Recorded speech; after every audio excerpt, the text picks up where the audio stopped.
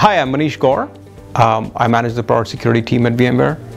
Um, we are a team which is responsible for making sure that our products are secure and our customers are safe uh, when they're deploying our products.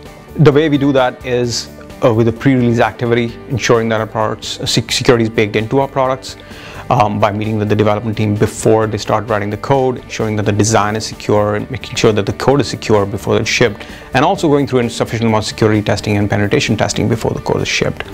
If a vulnerability shows up in our products once the product has been released, we have a security response team. My team is the VMware Security Response Center. And uh, the goal here is that we take care of security issues, security issues in our products. So when a new vulnerability report comes in, we'll often take a quick initial look at it to determine sort of the severity, um, how widely we think it affects our products, uh, whether it basically holds merit.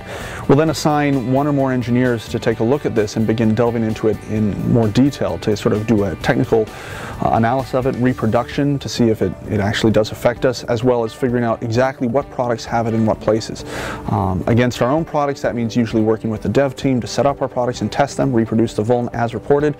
Against open source components, that means uh, usually reviewing the code, figuring out what things have changed, where the affected uh, code is, and then reproducing that vulnerability and figuring out which of our products are affected by that vulnerability.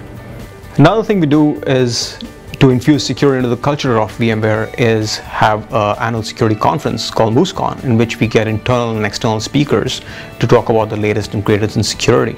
We also organize security trainings, um, frequently organize them across VMware and have our developers and QA engineers participate in them to make sure that they have their security knowledge up to date.